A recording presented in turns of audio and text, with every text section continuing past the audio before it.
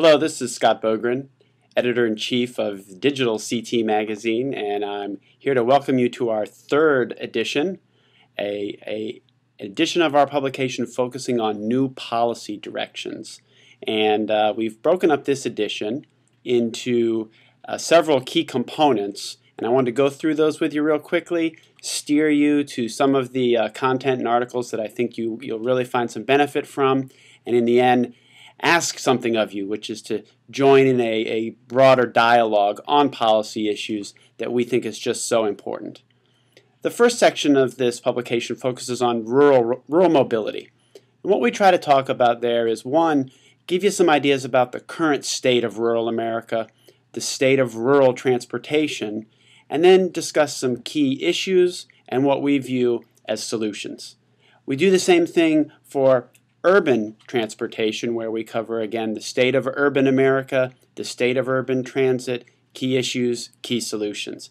Uh, we think there's some excellent policy points that will come forward in those two discussions that can frame up some of the discussion that we hope to have with you directly, both via a uh, campaign we're going to launch, which I'll talk about in a second, and also at our Community Transportation Expo this June in Indianapolis.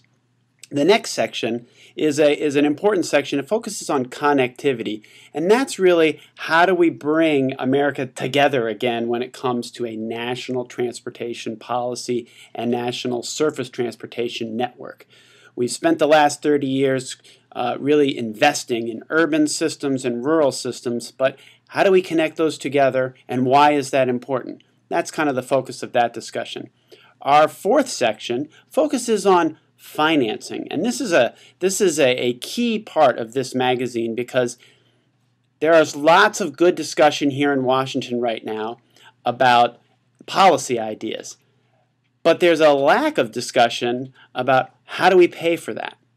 And we take that challenge and give you some ideas about how to focus on not just spending and investing in the trust fund, which is important, but some of the other ways we think we can diversify national surface transportation investments so that we have a, a, a structure to finance the system that is equivalent to the service which is diversified, that is the output of the system. We have an article that we, we're really fond of, which, which really consists of excerpts from the U.S. Chamber of Commerce's testimony in front of a Senate committee here. And that talks from a very specific agenda about the economic impacts of investing in the surface transportation network and in the work that all of you do.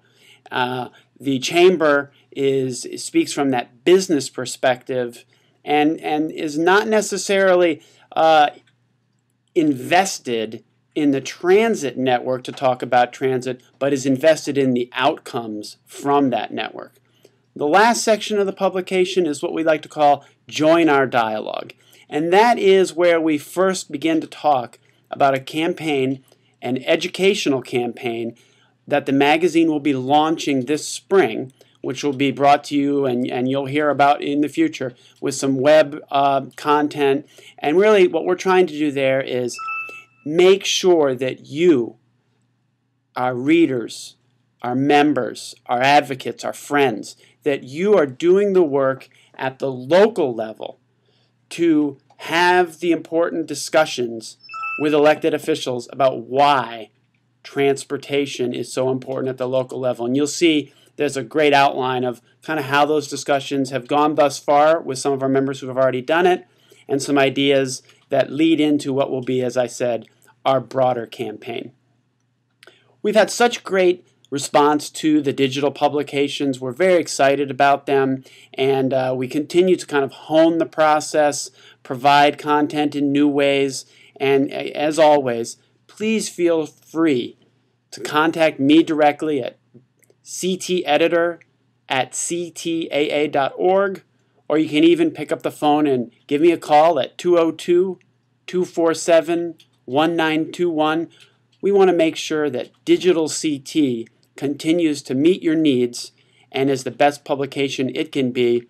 And I would, as always, like to thank you for taking the time to watch this video and to take a run through the articles and, and ideas and concepts that really are our new policy direction edition of Digital CT. Thank you.